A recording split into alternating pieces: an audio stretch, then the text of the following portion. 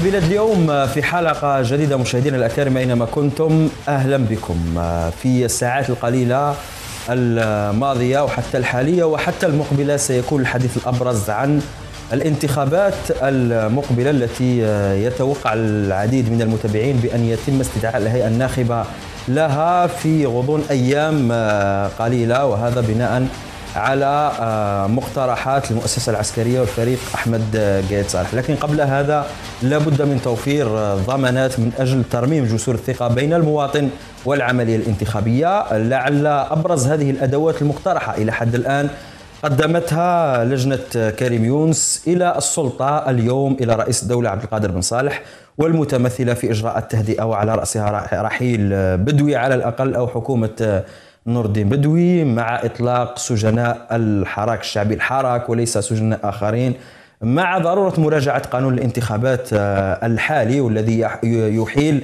آه، عدة إجراءات على التنظيم ولا يضبط العملية الانتخابية حتى تكون شريفة ونزيهة. وعن السلطة وتشكيلة هذه السلطة التي آه، يفترض وينتظر منها أن تضمن شفافية ونزاهة الانتخابات. سنناقش هذا في هذه الحلقة وسنناقش كذلك عن دور أحزاب المعارضة في المرحلة القليلة السابقة وما وصف بانسحاب أحزاب المعارضة من المشهد على الأقل في العمل الجماعي لهذه الأحزاب بعدما كانت تلتقي في ندوات بشكل أسبوعي.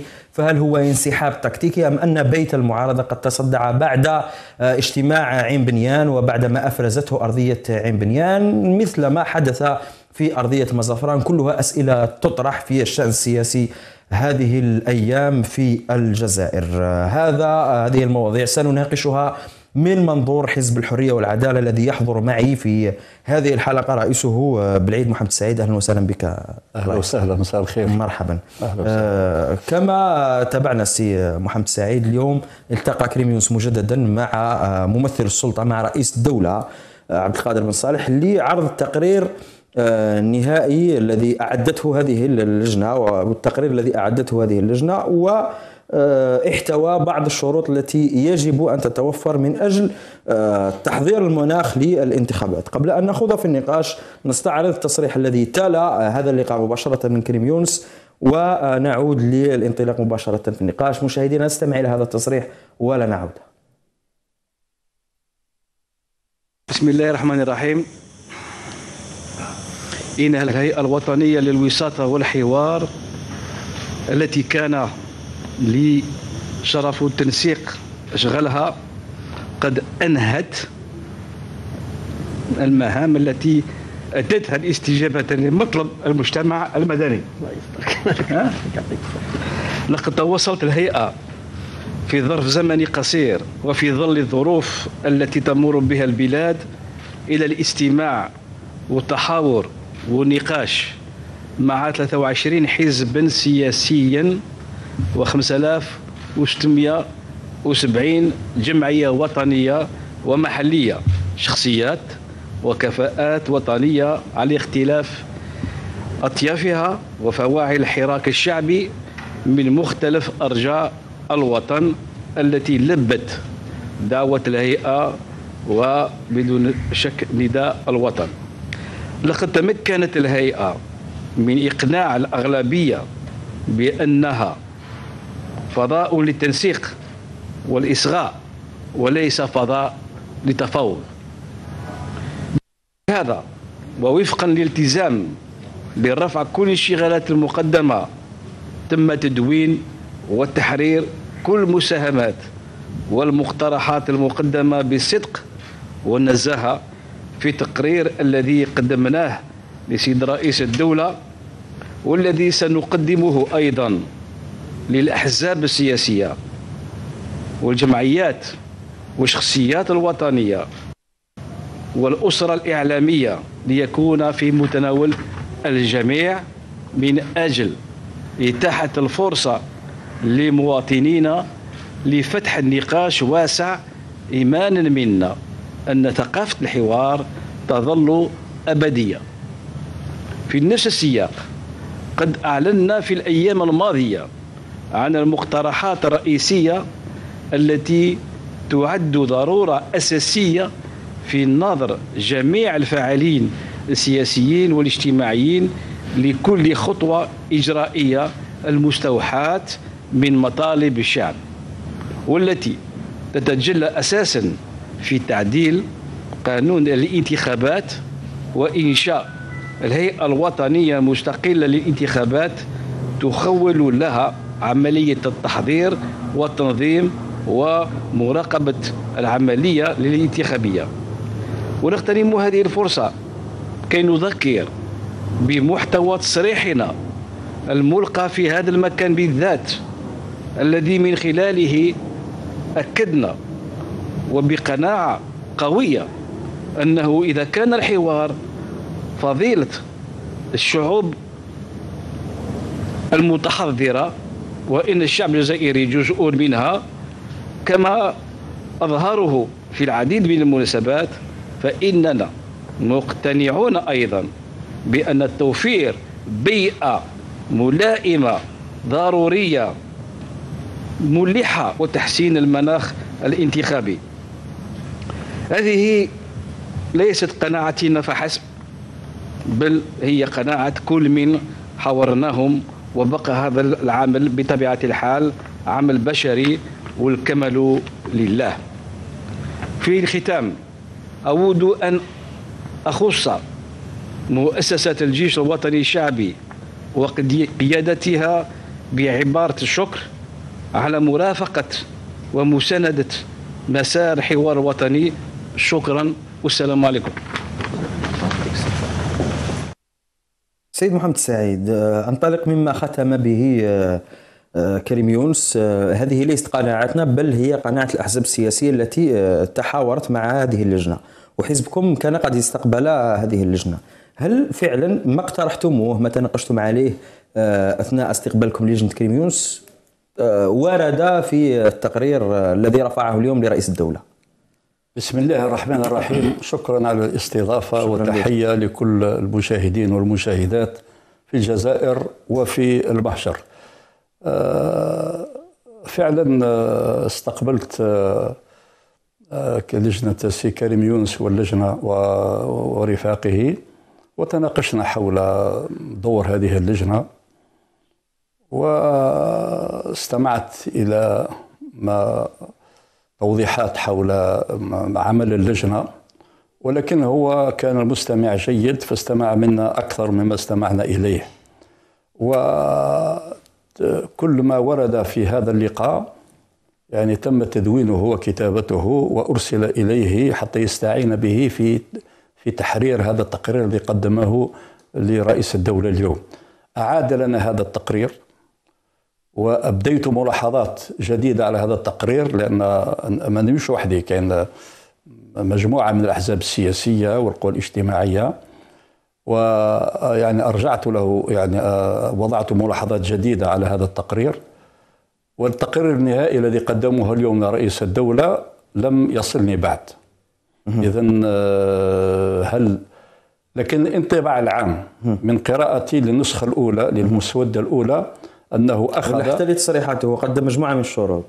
إيه مثلا تعديل قانون الانتخابات ورحيل الحكومة و... انطباعي العام فعلا أنه أخذ بمجمل المقترحات ليست مقترحات حزب الحرية والعدالة ولكن حتى مقترحات آه، أحزاب سياسية أخرى. طيب. قاتل الآن المقترحات الجديدة هل أخذها بعين الاعتبار أم لا؟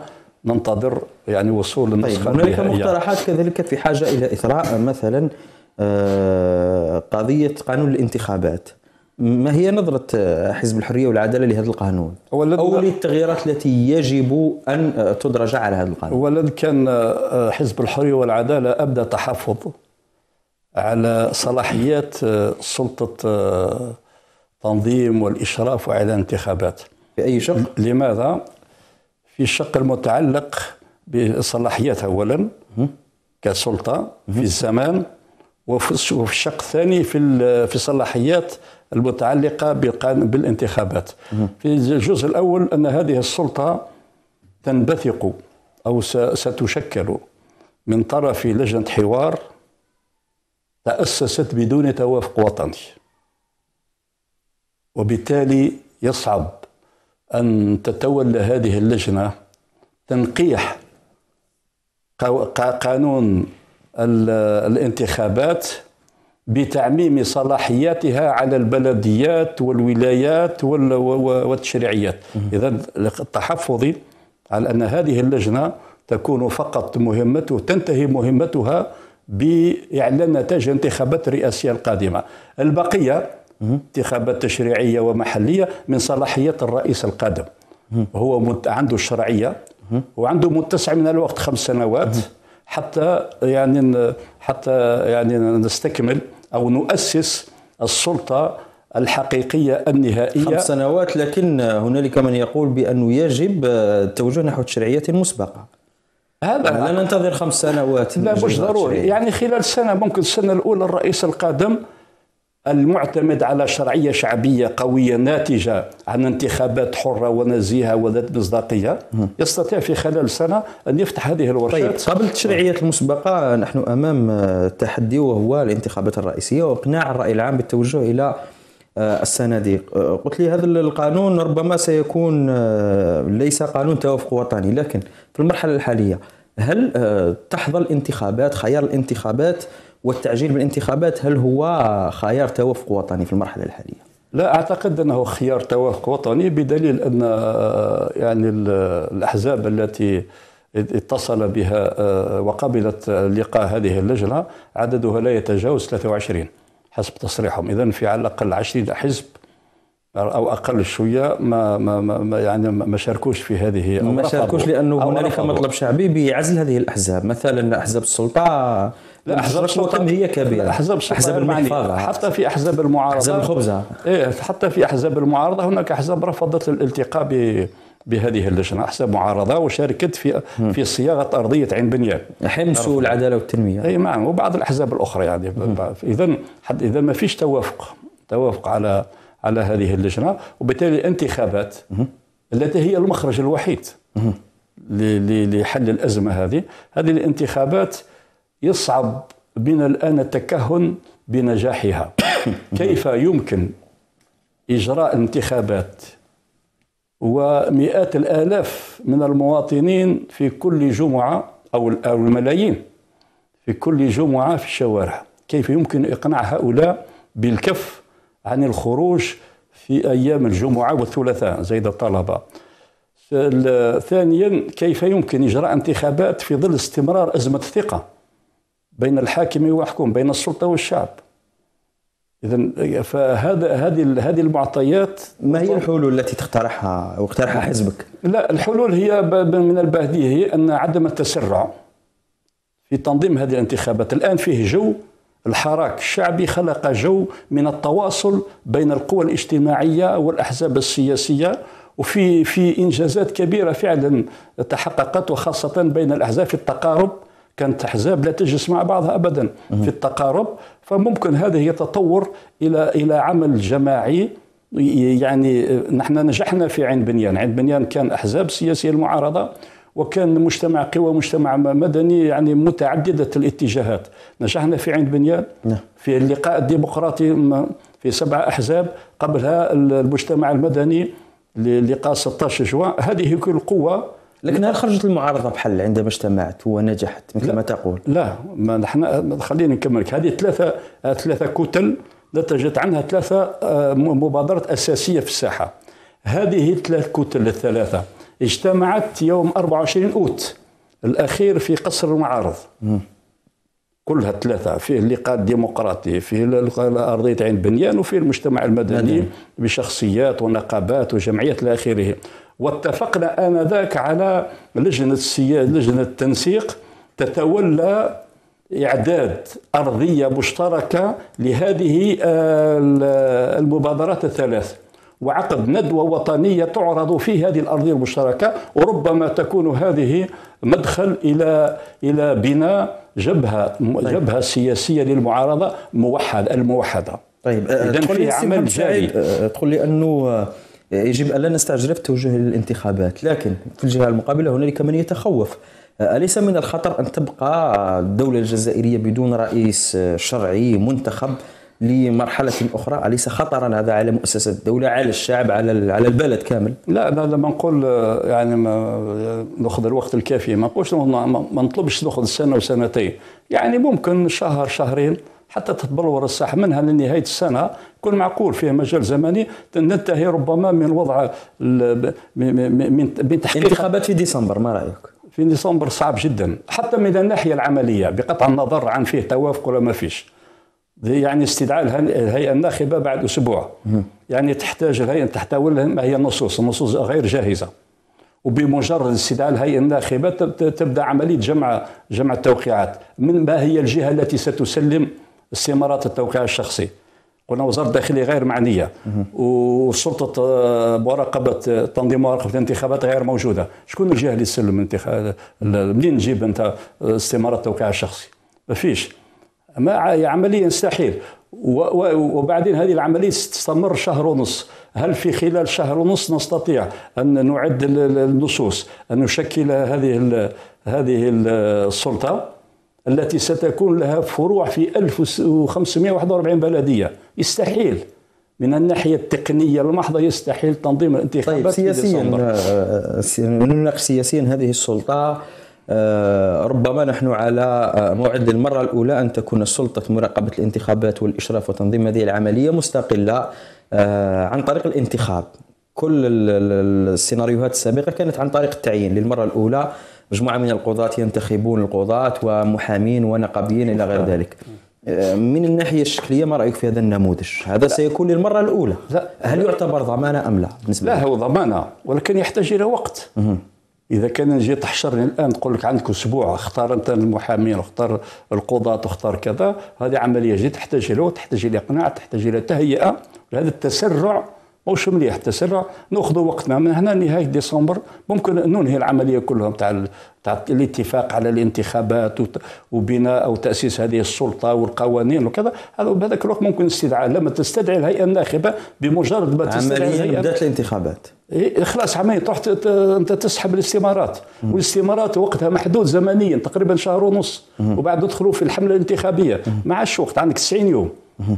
90 يوم بين استدعاء الهيئة الناخبة وإجراء الانتخابات. لكن من الناحيه السياسية أو من الناحيه الإجرائية تعتبر ضمانة هذا هذا النموذج الذي سيعتمد؟ إيه، طبعا. الذي اقترح لا, لا, لا نعرف بعد رد السلطة. لا على كل حال هذا نموذج آه، فيه الضمانات الكافية لأنه يتم كلش بالانتخاب والشفافية التامة. وفي نهاية الأمر آه، العبرة يعني نشوف التطبيق في الميدان طيب آه، نتوقف عند فصل قصير سيد محمد سعيد ثم نواصل نقاشنا حول بعض الشؤون السياسية الأخرى. كذلك مشاهدينا فاصل ولنا عودة ابقوا معنا.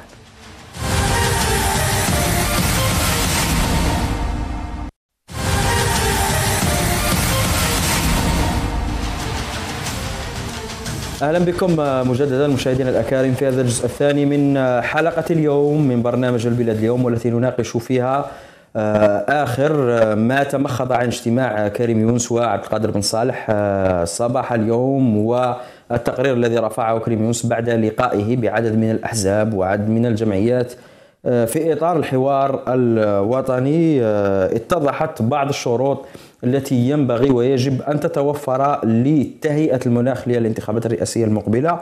انطلقنا في نقاشها في الجزء الأول وسنواصل كذلك مع مناقشة أدوار الطبقة السياسية في المرحلة المقبلة.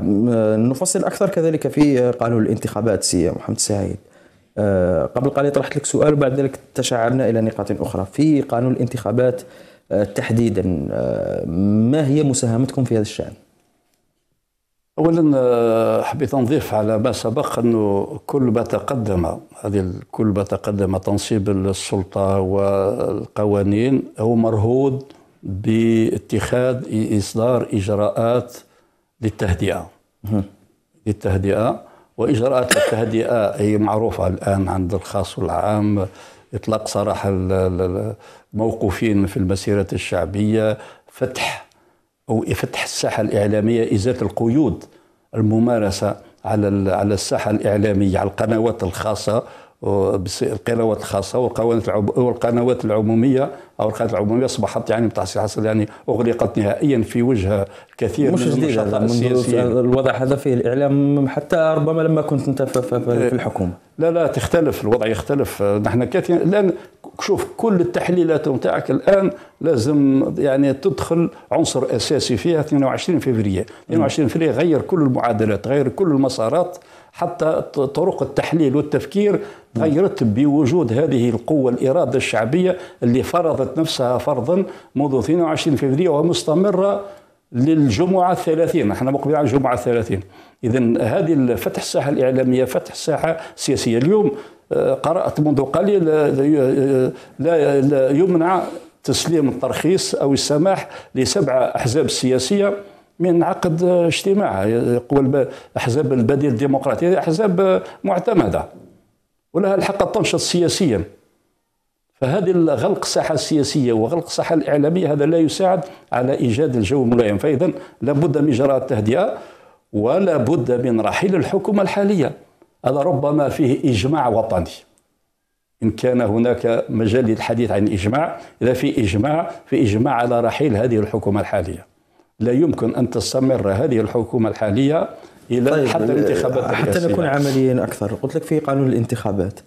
آه، ماذا تقترحون؟ مثلا من أجل آه، ان ان أن تستعيد العملية الانتخابية آه، ثقة المواطن لا على كل على كل حال قضيه قضية قوانين؟ لا ولا في في قضية قوانين لنظام لضمان نزاهة الانتخابات وشفافية الانتخابات. هذه موجودة. فيه اشياء كثيرة في القانون الانتخابات الحاليه موجودة ولكن لا تطبق. لا تطبق. الآن في تفعيلها والسهر على حسن تطبيقها بإجراءات عملية أو ب أو بقرارات أو بإرادة سياسية حقيقية. لأن الانتخابات كانت تزور بالإرادة وليس بالقانون. اي طبعا. القانون مثلا آه، شراء الذمم وكذا هذه موجودة يعاقب عليها القانون الحالي قبل تغييره لكن لا يطبق. ممثل السلطة يشوف وكان لو كان يتكلم عن انتخابات في بلد آخر. في بلد آخر أو هو على علم أو هو نفسه يمكن يمكن يشجع هذا هذه الممارسات وشفنا أن الصراعات وشفنا الصراحات فضيحة الانتخابات في تلمسان لا وشفنا تبادل التهم بين حزب جبهة الحرير والار دي فيما يخص التزوير. انكشفت الأمور كلش. نعم. فإذا نسهر على حسن تطبيق هذه الانتخابات. في أشياء استجدت بعد 22 فبراير لابد أن تؤخذ في الحسبان. مثلا قضية آه، في الانتخاب في القانون الانتخابي الحالي فيما يتعلق بالرئاسيات. يعني ممكن تروح للرئاسيات بجمع 600 توقيع للناخبين في 25 بلدية. وهذا يغنيك عن الشرط الثاني وهو جمع 60 ألف استمارة أو الاكتفاء ب 60 ألف استمارة. إذا ما عندكش آه، إذا ما عندكش منتخبين وتروح بها للمجلس الدستوري وتقبل وتقبل استقالتك. الاستميات الآن المنتخبين طيب. من من الفترة السابقة هم منتخبين مشكوك في شرعيتهم. طيب حسب رأيك التزوير. اسمح لي. نعم. هذا الشرط أسقط. نعم. الآن أي واحد يروح مش ضروري يكون متحزب بين قوسين. أنت تقدر تترشح. إذا عندك 40 سنة فما فوق. المهم تجيب 60 ألف استمارة. في اقتراحات شفتها في اللجنة. أنا شفت الآن وأنا جاي للاستوديو الشهاده الجامعيه لا لا, لا مش الشهاده الجامعيه شفت العدد جمع التوقيعات. شفت أنه اقتراحات خفضوا هذا العدد إلى 50000 50000 هذا ربما حتى اللي يساعدوا الكفاءات الوطنية اللي ما عندهمش إمكانيات كبيرة ما عندهمش قواعد حزبية باش يقدروا يجمعوا. هذا شيء إيجابي. هذا مثلا كنا نحن من أنصار إلغاء هذه هذا الشرط ألغي هذا الشرط. ألغي هذا الشرط أو ألغي لكن أنتم ما تقدروش تجمعوا 50000 سي. ها؟ أنتم حزب مش لا نحن نجمع أنا ما نتكلمش على حزب. أنا الحزب نقدر نجمع 50 ولا إن كان وطني ماذا بيا أنت ككفاءة وطنيه وغير ككفاءة وطنيه يفسح لهم المجال. يفسح لهم المجال. هذه القيود. نعم. على خاطر لو كان ترفع في عدد أنا كنت كلمة على المصلحه حزبية ضيقة نقول لك أرفع ل 200000 الانتخابات ما كانش يقدر عليها فيما بعد. إلا إلا الأحزاب اللي عندها قواعد كل شيء أفهم من كلامك بأنه الاتفاق أو الإجماع هو حول الانتخابات لكن ربما النقاش حول طريقة التوجه إلى الانتخابات. حول الانتخابات الرئاسية نعم. دون بقية الانتخابات. نعم. الرئاسية. معنى المجلس الانتقالي هذا هذا يطرح. مجلس انتقالي مش كاين كاين خيار مثلا مجلس تأسيسي وإلى غير ذلك. لا هذا موضوع آخر. هذه في أحزاب أخرى. نعم. من راي رايك نعم. لا لا بدعاة أنا نظن هذه الفكرة تترك للرئيس القادم. الآن المستعجل ضرورة هي الانتخابات. انتخابات رئاسية برئيس قوي بشر بشرعية حتى تكون له الجرأة على فتح الورشات السياسية والورشات الاقتصادية. ما تنساش أن أن الوضع الاقتصادي في الجزائر يسير من سيء إلى اسوء وفي إجراءات حاسمة لابد على الرئيس القادم أن يتخذها في مجال الاقتصاد لأن الآفاق الآفاق الاقتصاد مداخل الدولة مداخل الدولة من النفط في تراجع والأفاق مع الأسف راهي مسدودة والاقتصاد مجمد يا حدا والاقتصاد عمليا مجمد مؤسسات الشركات حركة الاستثمار متوقفة البطالة في إفلاس في شركات حادث الاقتصاد له ركود. مؤسسات خاصة أفلست. نعم. نسبة نسبة البطالة ارتفعت تآكلت قيمة الدولار التضخم يعني ما هو الحل لهذا الوضع؟ بهذا الوضع في لابد من إصلاحات. اقتصادية جذرية. من يتخذ الإصلاحات؟ الرئيس التي تكون له الشرعية الكاملة الرئيس القادم. ولهذا أنا ألح على أن يكون الرئيس القادم له الشرعية. وينتخب بال... بال... طيب. ينتخب برضا الجميع يحتاج إلى هذه القوة لأنه راح يأخذ قرارات صعبة جدا. هذه القرارات تبدأ بفرض التقشف على مداخل على نفقات الدولة ثم إجراءات أخرى صارمة تتعلق بتوزيع أعباء هذا التحول الاقتصادي على كل الفئات الاجتماعيه طيب. في السابق كان هذه الأعباء يعني تقع فقط على الفئات الضعيفة. الآن لابد يجي رئيس قوي حتى يوزع هذه الأعباء بصفة عادلة على كل الشرائح الاجتماعية. أحزاب ننتقل لنقاش سياسي سيد محمد سعيد. أحزاب المعارضة كانت تلتقي بشكل دوري آه، في اجتماعات تلتقون في حزب في مقر حزب الحرية والعدالة.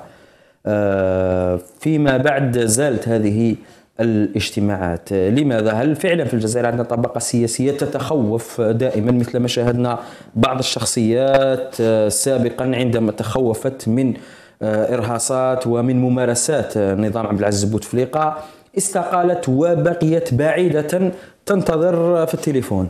آه، لماذا؟ آه، صراحة لماذا ابتعدت احزاب المعارضة عن هذه الاجتماع؟ شرخ هل اخترقت احزاب المعارضة؟ هل؟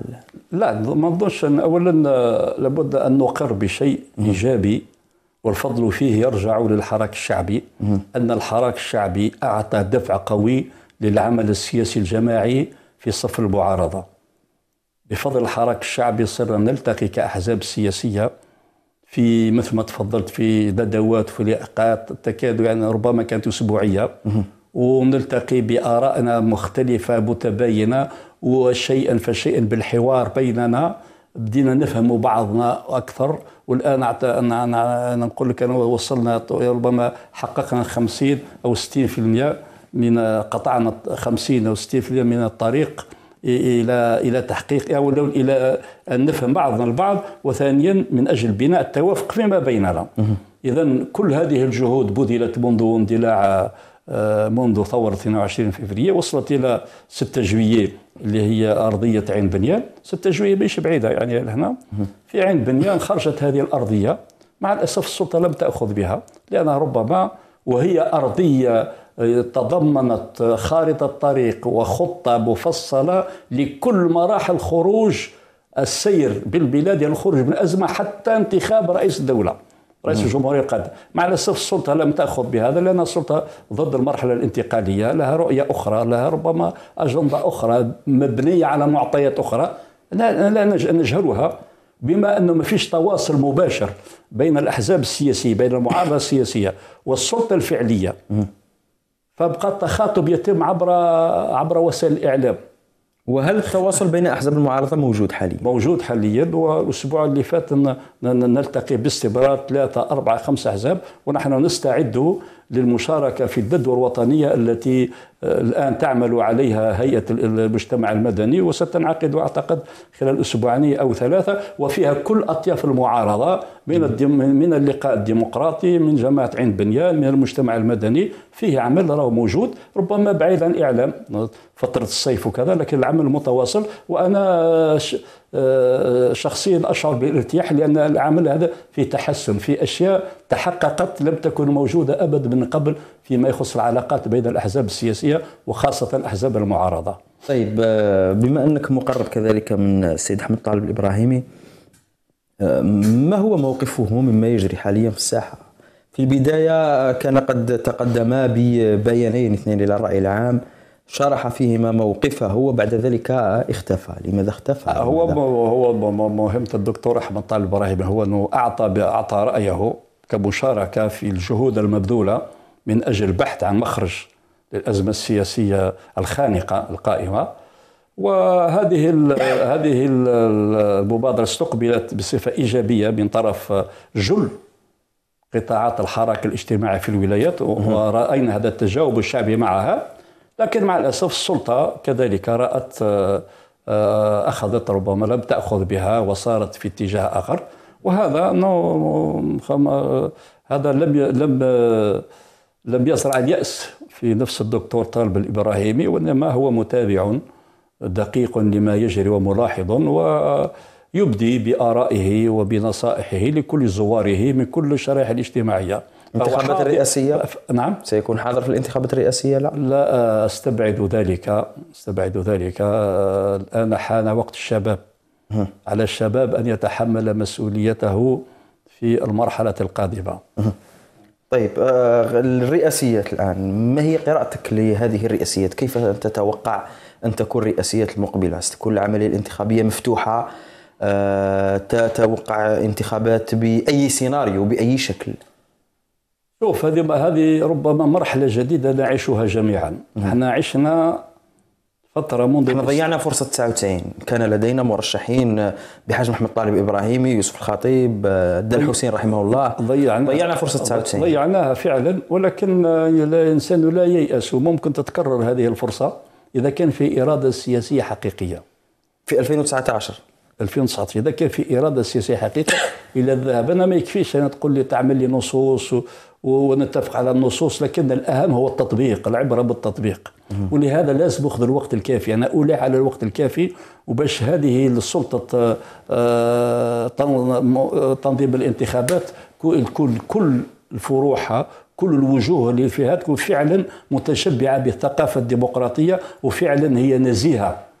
نزيهه هذه النزيهه وفعلا حريصة على شفافية الانتخابات. هذه أمانة لازم تحرص عليها. إذا جينا بالتسرع واضطرينا أمام ضغط الوقت قال فوت جيب جيب اللي كان. ممكن اللي ساهموا اللي أعدوا العدة للعهدة الخامسة ممكن ممكن يتسللون إلى مختلف مفاصل هذه هذه بهذه المعطيات هل سنرى محمد سعيد مرشحا للانتخابات الرئاسية المقبلة؟ لا بهذه المعطيات الحالية. لا أنا غير معني. لا بهذه المعطيات لا بناء على هذه المعطيات ولا على المعطيات الأخرى. هل تدرس المعارضة خيار إمكانية المشاركة بمرشح واحد؟ ولو أن هذا مستبعد؟ لا هذا هذا طرح في أحد الاجتماعات للمعارضة ولكن ما زال وقت زال مبكر أما أنا شخصيا أنا أؤمن بالتداول وأؤمن ب يعني ب بأن لكل عاش من عرف قدره.